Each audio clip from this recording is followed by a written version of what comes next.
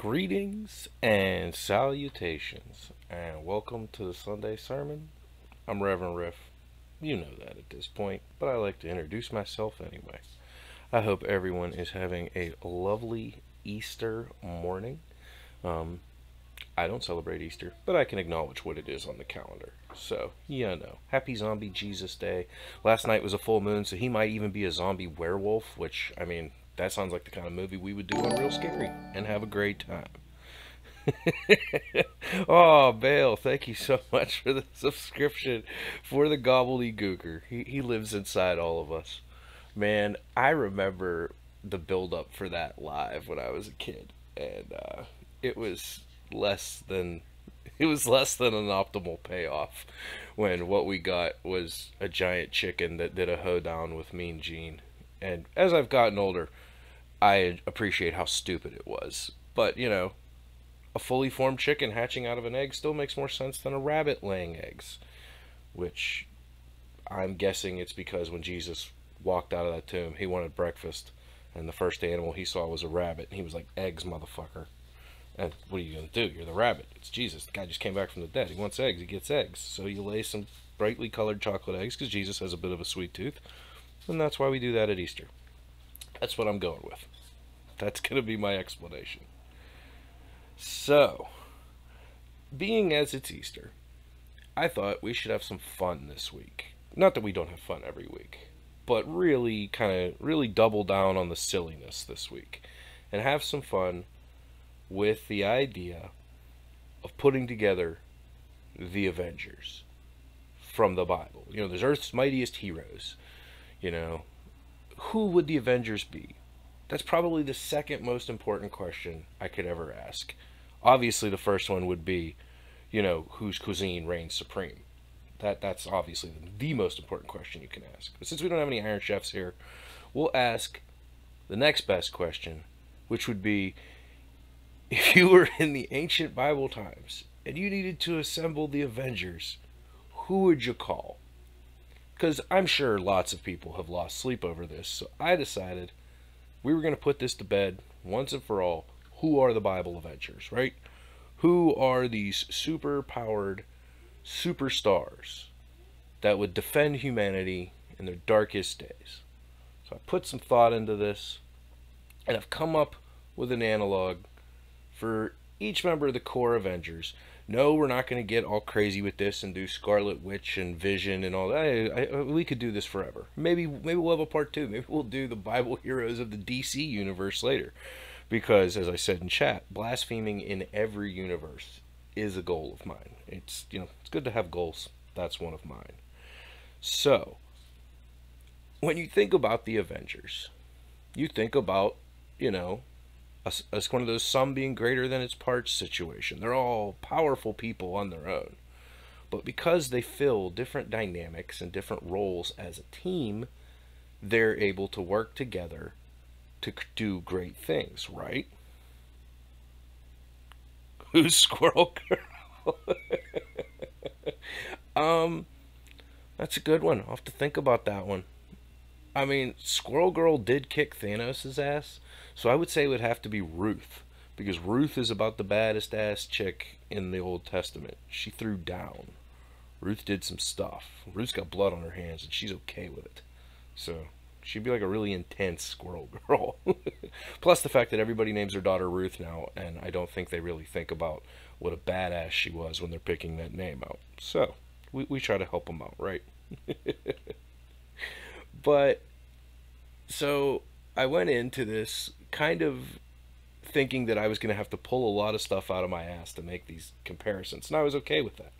We got a big fucking space dragon. We can do all things through the big fucking space dragon who will roast you if you don't do them.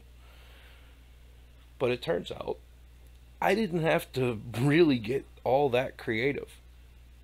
The space dragon reached out and touched the book, and it spoke to me and helped me find what I think are just about damn perfect character equals for each one of the Avengers.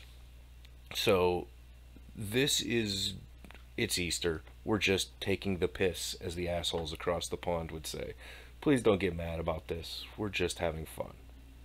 I mean, I, I should probably say that disclaimer every week. Like, please don't get mad about this. We're just having one, but we're gonna take the piss. So, without further ado, yeah, there we go. Hey, prof, take the piss. That's what we're gonna do. So, we have our marvelous crossover episode because I'm shameless. All right, so when you start with the Avengers, right? When you start with the Avengers, you gotta you, you think of like the man in front, right? I'm of course referring to Steve Rogers, Captain America. Look at that guy. Chiseled chin, jawline that runs like a fucking mile, be clad in the colors of his nation, morally superior to everyone he meets, or so he thinks. Of course, this is a guy, we got to start here, right? Who? Who could live up to this? Who could be this dude? I'm picking this O-face heart playing motherfucker, David. That's right, King David is going to be our Steve Rogers crossover. And it works better than you think. So, playing the role of Captain America in our OT Avengers is going to be King David. King David of America. All right. The first thing is that they are both Captain Dickhead. What do I mean by that? It's pretty simple. Let's look at Steve Rogers first and why I would call him Captain Dickhead. Well, he is an idealist to the point of naivety. He is so idealized that he doesn't even see when Hydra is very clearly taking over Shield. He, he just doesn't notice it. He never bothers to question orders early on, especially. He he just always wants to do the right thing, which I mean is, is great way to look at life. But he's always so sure that his way is the right way that uh, it doesn't really good. No, no, I could never be Captain Dickhead. I'm King Dickhead. Please, Captain. He is an idealized version of his country's propagandic wet dream. There's just no other way to look at it. Every 1950s jingoistic nonsense, America is the greatest country ever bullshit is wrapped up, distilled, and walks around every day in a meat suit named Steve Rogers.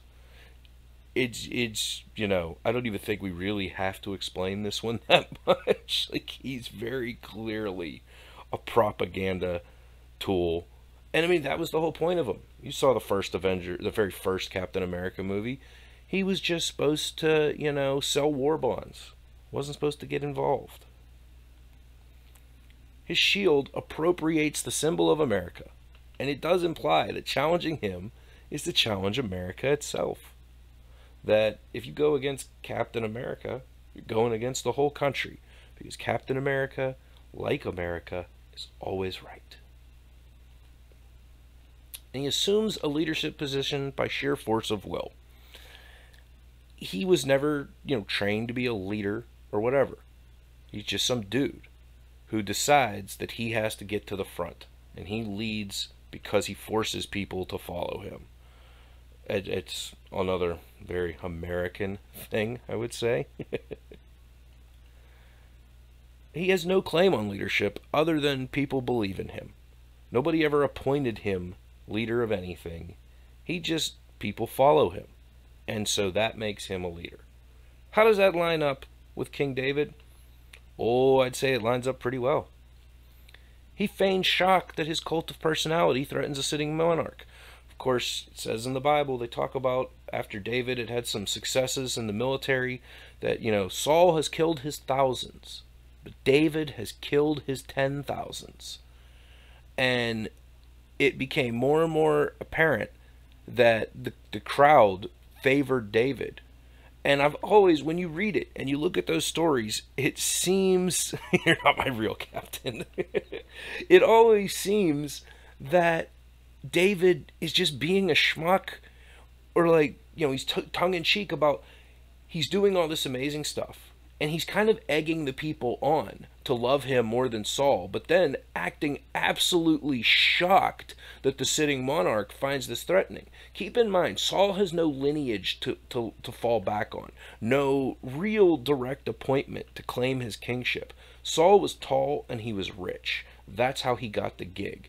And it started out okay, but then this young, you know, good looking Superman comes along, and now everybody's not so enamored with Saul. They're like, no, no, you. We like you. We want you to be in charge now. And David acts like this is the most shocking thing to him, that he, he's not intentionally fostering this kind of behavior. So the naivety thing, oh yeah, there's a parallel there.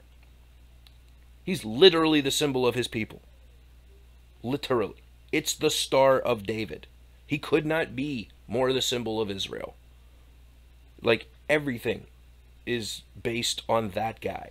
That's their true like I know that you know you go back to Abraham whatever David. David is the dude that Jews identify with much like Captain America was the guy for Americans. It, it, it's right there. If he David had the shield, it would have a big star of David on it and it would make sense to literally everyone. Yep, the star of the shield. Duh, it's right there. and he usurped the throne. Has ever been a Captain Jew? I don't know if I'm touching that one. He usurped the throne because God told him to. Much like Steve Rogers just starts leading the Avengers because somebody has to do it, David claims that God totally told him to usurp the throne from Saul. Not that, you know, he wanted to be king and had this amazing popularity, so he used it to capitalize. No, no, no, no. God told him to. It's not regicide. It's not a rebellion. It's God's plan. Moving along. Yeah, no claim to the throne, other than people believe God wants me to be king. Nonsense. Nonsense, I say. God's plan. there are some other similarities between the shield and the star. they were both on opposite sides of a conflict involving their best friend. Yeah. You remember Bucky was working for Hydra and Captain America was obviously on the other side of that. But Captain America also said, make sure you don't kill Bucky. We got to get him back. Similarly, when the war between David and Saul broke out, Jonathan, Saul's son, was David's best friend. There's even the implication that they were a little more than friends, kind of like Patroclus and Achilles. And they were that kind of friends. And then David absolutely orders his troops that no matter what, Jonathan is not to be killed in battle. Do not kill Jonathan. His troops don't listen and totally fucking kill Jonathan. Some historians believe that that was actually just to give him deniability because it was well known that he was friends with a guy, and like, even in this kind of situation, killing your friend is generally frowned upon. But from a realistic standpoint, you can't switch lineages from one house to the other and let the other house's crown prince still be alive. You, you can't do that. That would be crazy. But they both were on the opposite side of a conflict from their best friend. Has remained a source of national pride and identity. I mean, again, I don't think we really have to beat this horse into the ground too much, right? Captain America, he's Captain America. The Star of David, it, it's the House of David, the line of David. It's it's right there, folks. It's right there. And they both were pint sized wimps who went to battle because of their convictions and nationalism. Course, anybody who saw the first Avengers movie, you know, he had to go to what, like every recruiting place on Earth to get them to even take him because he was such a scrawny little wimp. And David, you know, he was a, basically a child who went and killed an eight foot tall, deformed giant because hey, Goliath, hey, you're no bell. That's what happened. I thought this was America. so that is our first one. King David is definitely Captain America. So we've got our leader now, right? Well, let's keep it let's keep it close, right? Let's get on to who's the next Avenger that everybody thinks about? Obviously, Tony Stark, Iron Man, right? This guy. Stan Marsh's Captain America is David. it's Randy. It's Randy. All right, so yeah, we're definitely we got we got to figure out this one, right? This one's important, and this one I had about as much fun with as any because it just kept lining up way too good. King Solomon is definitely Tony Stark. This one, it, it, it writes itself. I'm just the messenger here. This shit, it's writing itself, fam. I think the title. yeah, this baby splitting motherfucker. Alright, so, Tony Stark. How rich is Tony Stark? The Marvel Universe lists Tony Stark's net worth as $12.4 billion which is a lot of money. Although surprisingly, given today's Forbes lists, I looked that would put him at number 167 behind some guy I've never heard of that made a bunch of money off Facebook and behind some guy that made a bunch of money in import export. I don't know who either of them are. Don't really care, but I was impressed. That's Tony Stark's net worth. 12.4 billion dollars.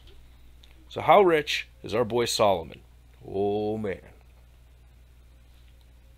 Let's get with it he received 666 talents of gold in tribute from Arabian rulers each year.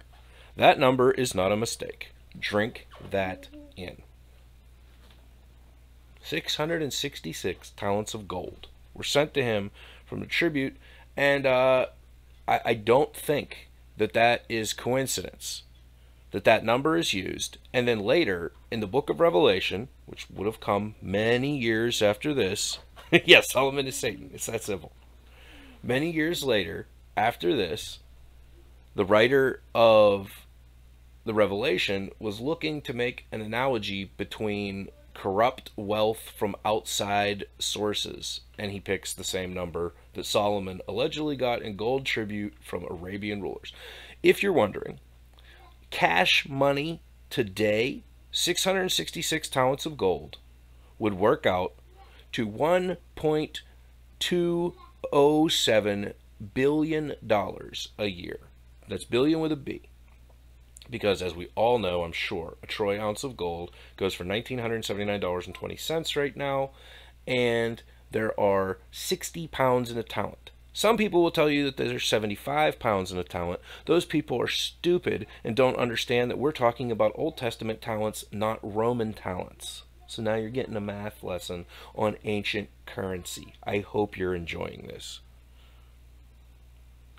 Right, right. Mansa Musa, for anybody who doesn't know, the guy, he actually had about a billion in hard currency because Mansa Musa had 12,000 slaves, each carrying four pounds of gold bars. That's 48,000 pounds of gold bars.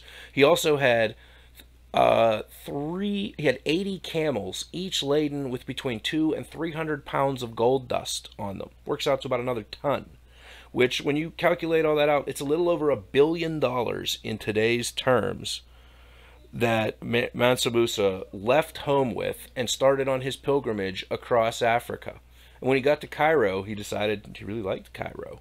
And uh, he spent so much money in Cairo that he depressed the price of gold for 10 years because he was just giving gold away. Because while his pilgrimage to Mecca was, I'm sure, important to him as a Muslim, it was also about him announcing the arrival of the Mali Empire and that they made it rain. Like some rappers, they go into stores and, you know, go into a strip club and do that. This guy was doing that with gold bars, which might have killed someone if he was up on a balcony making it rain. Be careful when you party with this guy. Yeah, so Solomon's got 1.2 billion in cash coming in just in gold. So much gold that he ends up turning all of his cups and plates and silverware into gold because he's got more gold than he has any idea what to do with. Yeah, it's a lot of money. He also had a sick whip collection. What do I mean? He had 4,000 stalls in his stable. So he's got a 4,000 car garage which housed 1,400 chariots and 12,000 cavalry horses. A conservative estimate of the value of his whip collection was 120 to 150 million dollars. Dude's balling. Just unreal. He also had some other income. Because remember, Solomon, the ladies were into this guy. The Queen of Sheba gave him a golden shower worth close to a quarter billion dollars. She gave him tons of gold, precious gems. Yeah. Yeah. the camel on the eye of the needle. I wonder how Solomon gets. I wonder how that works with twelve thousand cavalry horses. His gold mines allegedly produced 500 tons of gold, which would have worked out to 28 billion 863 million 336 uh, dollars and 632 cents or 63 cents. I'm sorry. I did this math late at night. Don't judge me. But yeah, so Solomon I, I've seen estimates that put his net worth, if he had this kind of resource today, in the one to two trillion dollar range. It's important to keep in mind that he didn't exist and that that level of wealth never existed in that region. Um, pe- other people at that time wrote things down, and uh, somebody wrote written down if this guy was balling like this. But so he's as real as Tony Stark. So for our purposes, that's fine. Whoops. I don't know what the heck that is. Sorry about that. I don't know where that came from. Ignore that. Um, Solomon and Tony Stark both have big daddy issues. So let's let's look at that because it was a Tom Waits slide. Both of them had a father who used war to amass power and wealth. Of course, Tony's dad built weapons during the Second World War. Solomon's dad was our Captain America, David. Really adds to the dynamic between Captain America and Iron Man 2, having them be father and son. I thought that was a nice touch. But yeah, you know, Solomon's dad, David, incredibly skilled in the art of war, so skilled in the art of war that God told him, You're not allowed to build my temple. Your son's going to do it. They both grew up privileged and were handed the keys to the kingdom when their father died. I mean, literally, Tony's dad dies. All of a sudden, Tony Stark's in charge of Stark Industries. Solomon's dad dies. Solomon gets the kingdom. They both grew up spoiled kids who got handed something far more valuable than should probably be handed to any one person. And unlike their fathers, they each tried to forge a pass path of peace. Tony, of course, famously announces at the end of Iron Man that they're out of the weapons business, except for the Iron Man suits that he continues to build, which are totally weapons, but that's not the point. Solomon, it was discussed how there's no record of any war during Solomon's time on the throne, that it was a peaceful and prosperous time for the people of Israel, despite the fact that Solomon taxed them into oblivion. On top of the again that's outside of the 1.2 billion that's coming in every year from outside sources. On top of the 28 billion in gold that he's got pulled out of his mines this guy still taxes his people brutally which is why when he dies the, the kingdom breaks up because he had really shit on the people in the north it's fun there are some other similarities between these two knuckleheads In the Key of Solomon stories, Solomon used magic to control the demon Asmodeus and gain his assistance, which, which helped Solomon build the temple. Tony Stark used science to create Jarvis, and Jarvis gives him assistance similar to what the demon Asmodeus provides to Solomon. Solomon famously had 700 wives and 300 concubines. And, well, anybody who knows Iron Man knows Tony Stark gets his. And he fathered Rehoboam. You know, Solomon fathered Rehoboam. His incompetence, along with the bad taste that his father had left in a lot of people's mouths, is why the whole kingdom of Israel splits right after Solomon's death, and you get the ten tribes in the north and the southern kingdom of Judah. And, well, Tony, He fathered Ultron, who nearly destroyed the entire world. So I, I think this lines up about as well as any of them. So Solomon is our Tony Stark. He's our Iron Man. So now we've got Solomon and his dad. They are Iron Man and Captain America. We're really rocking here. Who's next in the team? Of course, the Black Widow. Natasha Romanoff. You know, the ultimate spy. Queen Esther is going to be our Black Widow. Um, I guess I probably should take a bit of a second here because I don't know that everybody knows the story of Esther. So, the story of Esther.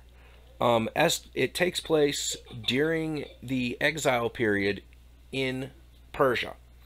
So, the Jews, of course, are in exile. We know that. We know that whole story. And what's very interesting, there are two books in the Bible that do not mention God. He never gets mentioned. Book of Esther and Song of Solomon. Those two books, God is never mentioned. So the story of Esther is an amazing story. It's told in the Megillah, which is what the Hebrew version of the book of Esther is called, and the Jewish holiday Purim is a celebration of this story. The Cliff's Notes version of the story, there's a guy named Mordecai. He's one of the Persians. He decides he really hates the Jews. We get no backstory on why. He's just your typical Jew hating monster. So he devises a plan that he's going to have all the Jews killed and Esther happens to be queen, and somehow in the story we're led to believe that the queen does not know that Esther is also Jewish. And so Esther uses her feminine wiles to convince the king that she's got that good good and he's into it. And then she basically tells him, you know, I wish you loved me.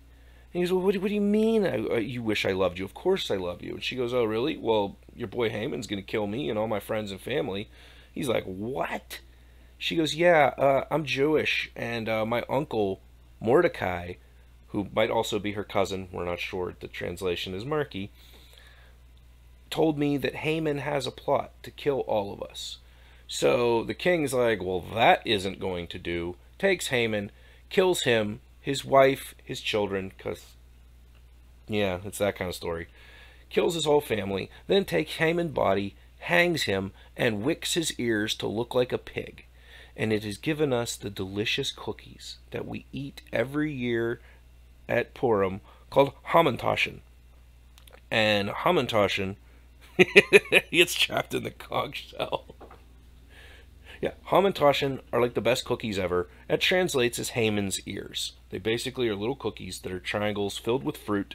They're delicious. If you have Jewish friends and they haven't hipped you to Hamantaschen, they probably don't actually like you. Just saying. So that's the story of Esther. Now, let's see how that lines up with her and the Scarlet and becoming, you know, the Black Widow. How does that work? Not bad. From some Natasha Romanoff. She's a beautiful woman who uses her feminine wiles to her advantage.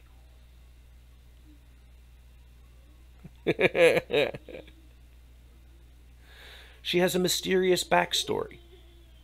You know, we, until we got that borderline unwatchable movie, that they probably should have just kept her backstory secret because it wasn't very interesting. And she ingratiates herself to powerful men in order to influence them. If you need something done on the subtle that doesn't necessarily involve hails of bullets or, you know, explosions, the Black Widow can get in there and make it happen. Queen Esther. She had to be exceptionally beautiful for the king to marry her and give her the deference that she's shown. The way she talks to the king in that book and the way the king reacts to her, clearly she had it going on. No idea where she came from, how she ended up married to a king. We get absolutely zero backstory on this in the book.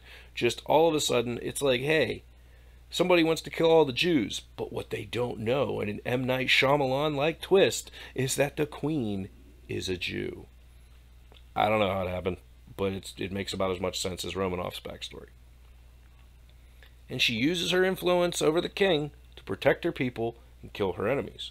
Much like you could, you know, the Black Widow could convince, you know, somebody to call in a missile strike at a place she wanted. Queen Esther, she she gets what she wants out of the king. There are some other similarities. They're both drafted into action. Of course, we know the Black Widow's story. She didn't want to be a super spy, it was foisted on her. Same thing with Esther. Esther was just enjoying being queen when she was called into service by Mordecai to save her people. They both manipulate people, but it's one of those ends justify the means things. Like they're both absolutely manipulating people. But greater good, I guess that's what we go with, right?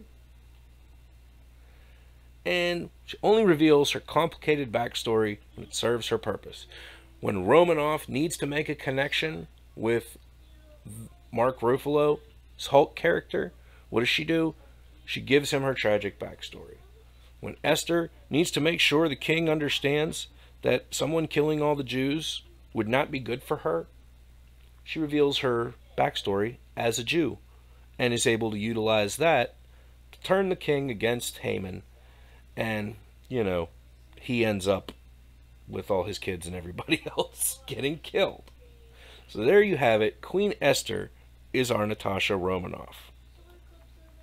Who could be next on our team? We've now got our spy, we've got our billionaire playboy tech guy, we've got our jingoistic wet dream leader. Who else do we need? We need a big green rage machine. And who better for that job than Samson? Seen here ripping a cat's head off because he was a psychopath. Oh, yeah, Samson is the Hulk, guys.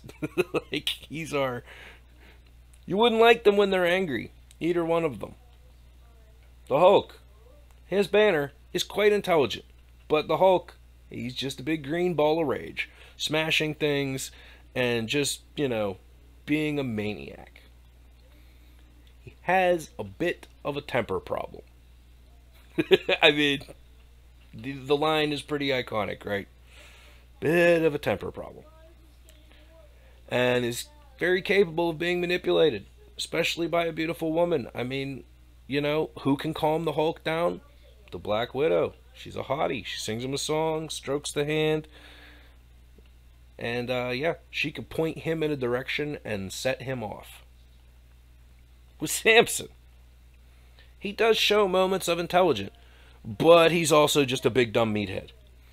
Uh, Samson comes up with his riddle, which is not a good riddle in the story, and he does. He, comes. He you know tries to manipulate and plot a bit. He tries to give you this idea that there's more behind those eyes than just a brain that pumps huge muscles full of smash shit fun. But that that's pretty much what he's got. He has a massive temper problem. The story of Samson is littered with bodies. Not because he was always fighting for Israel's good, but most of the time Samson kills a bunch of people, it's because he's irritated about something. He goes Hulk smash way too often to be considered a hero in his own story. Yes, bees made honey is that is and that is Samson's riddle. Samson kills a lion and then comes back to the carcass, and bees have climbed inside of its skull and built a honeycomb. And so he uses that as a riddle of out of something powerful became something sweet. And like people were supposed to know that this psycho is killing cows and then creating or killing lions and making apiaries in their skulls. Fucking weirdo. And he is also a complete poonhound who is easily manipulated by a woman. I mean, we all know that the Delilah is a term for a reason. I mean, how dumb could this mook be? Think about it. He fucking meets the woman, and the first thing she asks him is, How could I take away your superpowers? And he lies to her so that he can bang her. And then she asks him again. And he lies to her so he can bang her. And finally, the last time, she's like, "Look, you know, what what's the deal?" And, Sam, and Samson finally goes, All right, I did it all for the nookie. If you shave my head, I'll be a pussy. So she shaves his head while he sleeps. He's a pussy. They gouge his eyes out. And then God gives him his strength back one time, and he brings the house down on top of himself and everyone else that was in the temple. Fun guy. There are other similarities between the Hulk and Samson. Whoops. I left. Whoops. That's a mistake on my part. Sorry. They both love a plight, and they both complain when the opponents go down too easy. Samson loves to taunt people. He's got quips. Puny God. Eh, Samson's tossing shit like that out left and right. Never aspires for a leadership role. Happy to fight and enjoy the spoils of war. I think we saw when Thor was in the gladiator arena that he genuinely enjoyed just fighting. He didn't really care about anything else. He just likes to bang. Samson similarly would talk about if he hadn't gotten in a fight in a while, how boring it was. And he would just do shit to taunt the Philistines. Pointless acts of violence just because he was that dude. And their names became synonymous with strength and power. Much like if you say somebody's going in, you know, going Hulk on something or that's Hulk mode, you're saying that, wow, they're showing lots of strength you similarly, especially in older times, could have been like, oh man, he's got the strength of Samson. People would know exactly what you mean. They would know exactly what you mean. They became an analog for strength. So now we've got our big brute, we've got our spy, we've got our leader, we've got our wealthy playboy tech genius dickhead. Who else do we need in this team? Get ready. This is the one. Who who could play Thor? Who could play Thor? That's right. Only Shamgar could be the god of thunder. I mean, look at those pictures, for God's sake. It's mirror images. Amazing. They both like to bring the thunder. Thor wields a weapon that is central to his identity. Mjolnir symbolizes Thor's nature, as only a good man can wield it. So therefore, him being able to wield that hammer signifies that he is fighting on the side of right. I knew that was going to get a reaction. Despite hailing from Asgard, he comes to view the Earth as his home, and stays here. And then, of course, when Asgard gets destroyed, he doesn't really have a choice. But that's not that's that's not the point. He is totally he adopts the Earth as his home. He is a man of action who fights first, then he might ask questions afterwards, but he's mainly just going to make sure he fights first. Our homie Shamgar? Oh, yeah. I don't know anybody else who wields an ox goad. The ox goad, much like the hammer, symbolizes Thor's nature as a good man and on the side of right. The ox goad symbolizes that Shamgar was a farmer that is one of the points we're supposed to take from this is he was just he almost dieharded it. You know, he was a guy you just pushed too far that day. Shamgar wasn't supposed to be some military leader. He was a dude with an ox goad who had a problem. He solved that problem with the ox goad.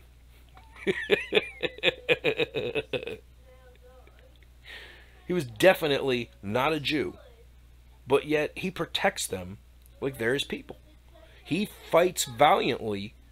It says, you know, Shamgar saved the Jewish people, but his name lets us very clearly know that he was not one of them. Just like Thor, he's a foreigner, comes to save the day. And flat out, there's no negation of him negotiating. He got everything he needed to get done in one Bible verse, and it involved a body count. Shamgar didn't ask questions. Shamgar got results. there are other similarities here.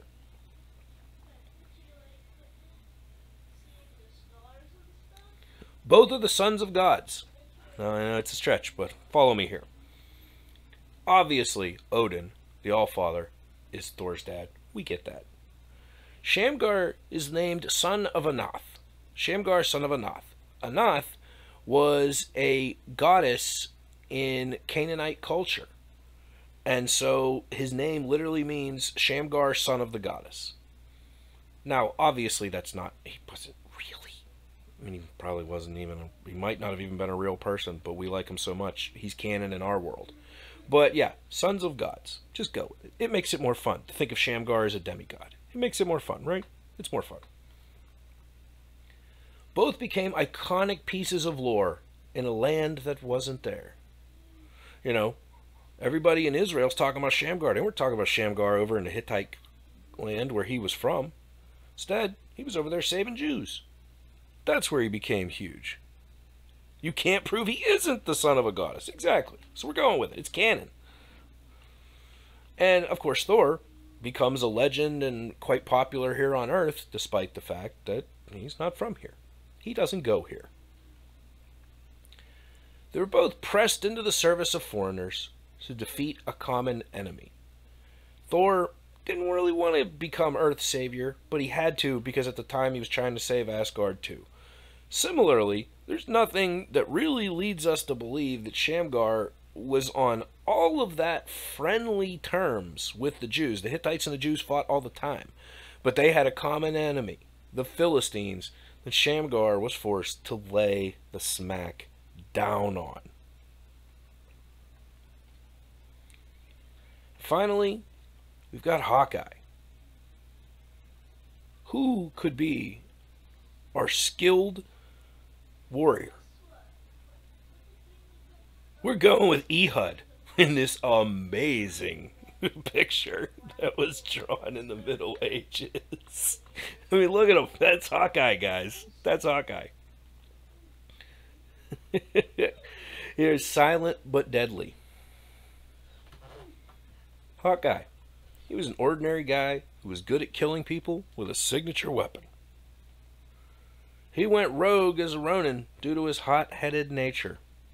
We remember those stories when uh, you know loses his mind and just starts killing people. And he uses his unassuming nature to catch people off guard. Nobody, you look at Hawkeye, you're like, you have a bow and arrow like these people are all super powered. You're a dork with a bow and arrow. Why should I be afraid of you? Whoa. Hawkeye throws down. Whoops. I left that to say Shamgar. That should say Ehud. I really botched this one. Sliding his 18 inch dagger into someone made his famous. Oh, yeah. The Ehud image results, fabulous. But yeah, Ehud is famous for sliding his 18 inch dagger into someone after the assassination, he and his men went and slaughtered 10,000 Moabites. Now, he had just killed the king. There's reason to believe that they could have negotiated a peace, but no, they just killed everybody. And his left handedness is what allowed him to pull off that daring assassination. Because nobody expected him to have the knife hidden on the right side to cross draw, because back then, very, very few people were left handed, as much like today, very few people are left handed. Other similarities the dagger and the bow and arrow. Both are country boys who weren't opposed to a fight. Ehud kind of tells God, like, dude, I'm just a country boy. I, do you really want me to be the deliverer of our people? And Clint would be much happier on his farm in Iowa. Both make dope quotes before killing people. Hawkeye's got all kinds of good quips, and of course Ehud leans up to Shamgar or leans up to uh, Eglon, the king of Moab, and goes, "I have a message from God." Boom! His message of God is an 18-inch dagger in the gut, but it's pretty pretty dope way to kill somebody. And they both were willing to engage in deception and outright lies. Of course, with Hawkeye, you know, half the people didn't even know he had a family. Then, you know, when he goes as Ronin, he's very mysterious about what he's doing, what he's getting into. Similarly, Ehud lies the whole way to get to Eglon. He tells lie after lie after lie, justifying it as, hey, you had to do what you had to do when you're trying to kill the king. So there you have it. We have our Avengers. We've got King David, King Solomon, Esther, Shamgar. we really just need Shamgar, right? Everybody else is he's gonna take the lead. Ehud and Samson. our Avengers, our Old Testament Bible Avengers. They're Earth's mightiest heroes. I mean, you gotta admit, that's a pretty good crew. It would be tough to take on those crews. Maybe we'll make a Sinister Six of Bible character of the bad guys later. Maybe that'll be fun too. Thank you. I, I think we have to. You, you, you can't be an, an ugly hero. Nobody likes an ugly hero. Yes, the Legion of Biblical Doom. Oh man, I think that's gonna have to happen now because it's just too good not to. But uh, I hope you guys had fun with this today. I just wanted to do something really light and have some fun. It's Easter Sunday. It's all about rabbits and jelly beans and chocolate, not about zombies or licks. Because you know, powerful sorcerer that comes back from the dead, he'd probably be a lick. But that that's neither here nor there.